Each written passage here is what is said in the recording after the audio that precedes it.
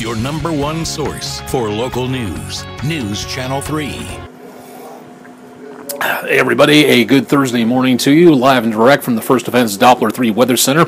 I'm meteorologist Austen Onek with a mid-morning update. We'll continue again to see some possibilities of showers and thunderstorms across the Mid-South. We'll talk more about that coming up here in just a little bit. If you haven't heard just yet, we've got an area of disturbed weather across the southeastern United States coast out into the western Atlantic. This could be a problem for anybody who's going to be doing anything around Georgia or the Carolinas, even as far south as Florida into the next couple of days. So definitely want to stay tuned for more on this from News Channel 3 and, of course, from the National Hurricane Center. It's not a hurricane, it's not a tropical storm yet, but it does bear watching. So keep it tuned for more on News Channel 3. Keeping you updated on what's going on with the weather around the Mid South. More chances of showers and thunderstorms across much of the area.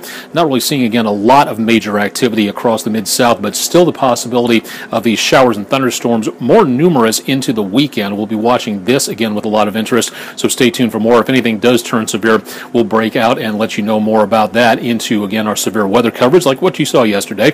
And also, again, if you'd like to keep up to date on what's going on with weather, science, astronomy, and of course, we'll keep you updated on the tropical weather situation, you can check out both my Facebook page at facebook.com slash AustenOnek WREG. That's one word, AustenOnek WREG. And if you'd like to take a look at 140 characters or less, all you have to do is drop by Twitter for more information at twitter.com slash aonek underscore WREG3 for more information there. If that's still not enough weather for you and you'd like to get more detailed information about what's going on, you can go to WREG.com slash weather and you can check out our local video weather blog and exclusive video weather blog. It's called Weather Overtime. We've been doing this now for just about two to three years. And if you'd like to know more about the weather situation across the Mid South, we'd love to have you drop by and take a peek at it. So go to WREG.com slash weather and find out more. I'll have more details on your complete forecast coming up today on News Channel 3 at noon and also into the next several days. We'll see if Todd is well enough to return to the weather station into tomorrow. And of course, I'll have your forecast throughout the rest of the week. So stay tuned for more